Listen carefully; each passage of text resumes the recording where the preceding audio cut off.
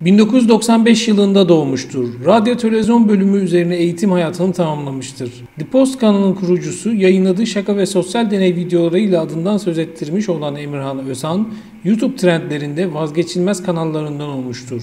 Türkiye'nin önde gelen ulusal ve yerel tüm kanallarında ürettiği içerikler prime time'da yayınlanmıştır. Ağustos 2020 itibariyle kendi adını taşıyan kanalında 1.17 milyon aboneye sahip olan Emirhan'ın videoları toplamda 170 milyon izlenmeye ulaşmıştır. YouTube kanalında en çok izlenen videolar sırası ile lüks mekanda fakir biri yardım istese 6.2 milyon, param yok bunu bana alır mısın 5.8 milyon kez izlenmiştir. Ayrıca YouTube kanalında yaptığı İyilik Akımı adlı video serisi izlenme rekorları kırmaktadır. Yine kendi adını taşıyan Facebook sayfasında 820 bin takipçisi bulunmaktadır. Gündelik yaşamından karelere değer verdiği Instagram sayfasında ise 155 bin takipçisi bulunuyor.